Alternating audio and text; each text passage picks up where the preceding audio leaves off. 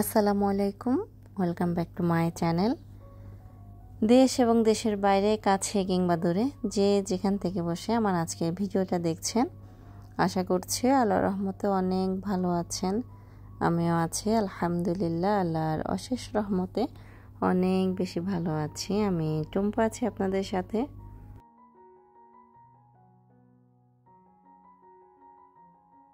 আবারও নতুন একটা ভিডিও নিয়ে হাজির হয়ে গিয়েছি আপনাদের মাঝে, আশা করছি আমার আজকের ভিডিওটাও আপনাদের কাছে ভালো লাগবে। আর আমার ভিডিওটা যদি আপনাদের কাছে ভালো লাগে, আমার ভিডিওতে ছোট্ট একটা লাইক দিয়ে দেবেন।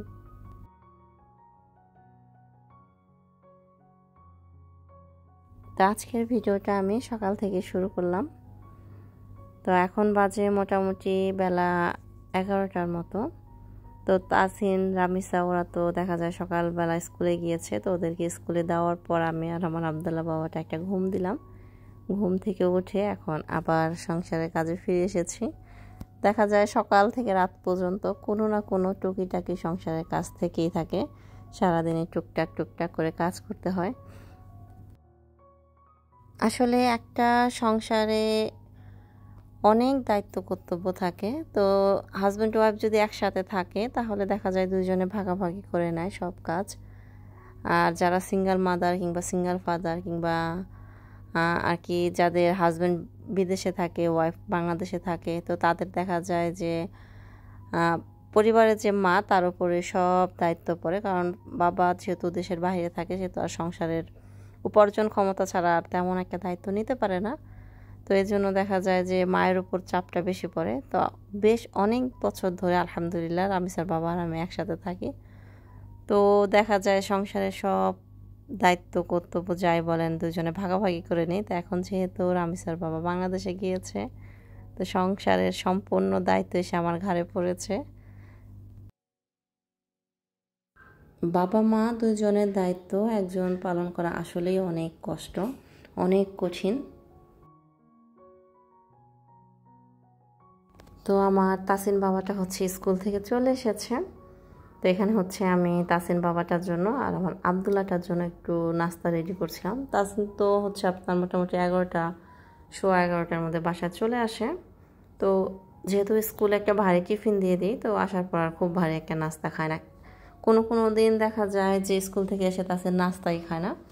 আবার কোনো কোনো দিন যদি আমি জোর করি তাহলে হালকা পাতলা একটু খায়। তো ওদের দুজনকে এখানে আমি নাস্তা দিয়ে দিয়েছি। আর এখানে হচ্ছে আমি, আমার জন্য আর কি নাস্তা তৈরি করছি। তো আমি এখানে হচ্ছে আপনার আম দিয়ে চিরা দিয়ে খাব।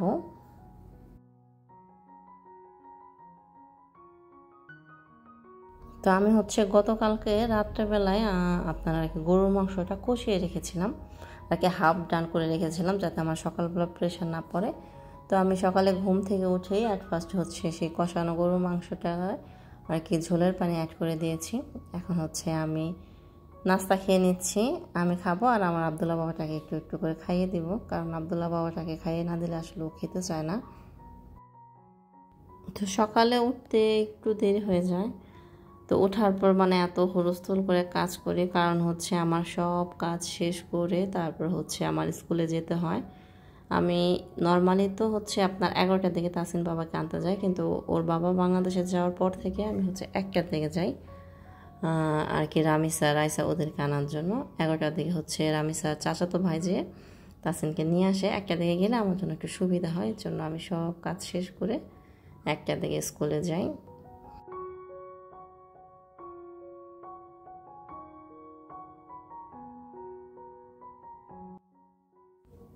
আমি তো যাওয়ার আগে হচ্ছে আপনার গরুর মাংস রান্না করে রেখে গিয়েছিলাম। তো স্কুল থেকে আসার পর এখানে হচ্ছে আপনার সাদা পোলাও রান্না করছি। একবার ভাত রান্না করতে চেয়েছিলাম। পরে চিন্তা করলাম যে যেহেতু বাচ্চারা আর কি পোলাওটা অনেক বেশি পছন্দ করে, তো অল্প কয়েকটা পোলাও রান্না করে দিই। ওরা অনেক বেশি হ্যাপি হবে। তো এখানে হচ্ছে আমি সাদা পোলাও রান্না করছিলাম। আর হচ্ছে আমার জন্য আর রামিসার জন্য হচ্ছে তিন পিস ফ্রোজেন কাবাব ছিল, সেই কাবাব ভেজে নিচ্ছি। তাসিন বাবাটা আবার একদম কাবাব পছন্দ করে না। তো এখানে হচ্ছে আমি দুই পিস নিলাম, আর আমার ফ্রিজে হচ্ছে আগের একটু কি বলে এটাকে? কালো জিরা ভর্তা ছিল, তো সেই কালো জিরা ভর্তাটা নামিয়ে নিলাম। যে শুধু গরু মাংস দিয়ে খেতে ভালো লাগবে না, বাচ্চাদের ভালো লাগবে, বাচ্চারা অন্য কিছুই নেবে না। তো আমি আমার নিজের জন্য একটু কালো জিরা ভর্তা আর হচ্ছে আপনার কাবাব নিয়ে নিলাম।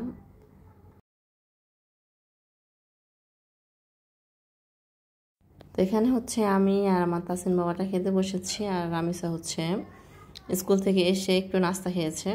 নাস্তা খেয়ে গোসল করতে গিয়েছে। ও গোসল করে এসে তারপর হচ্ছে ওর খাবারটা খাবে।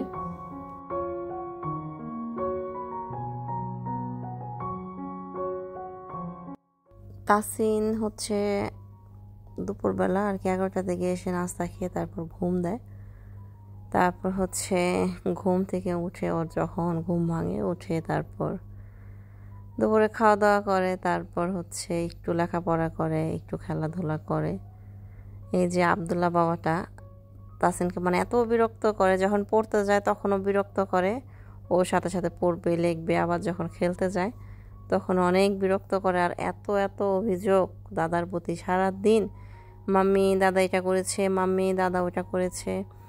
মানে প্রচুর অভিযোগ।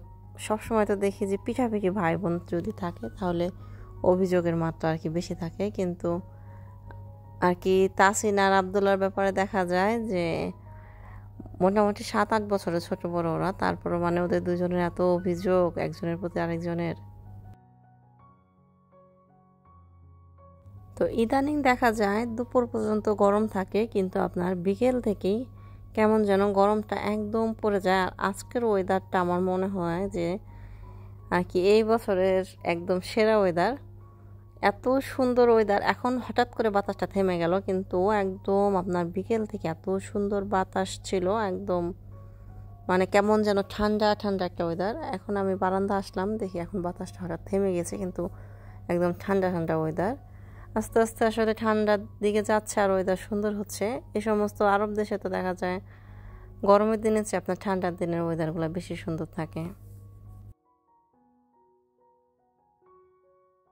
তো এখানে হচ্ছে আমি বাহির থেকে আর কি কেএফসি অর্ডার করে আনিয়েছি।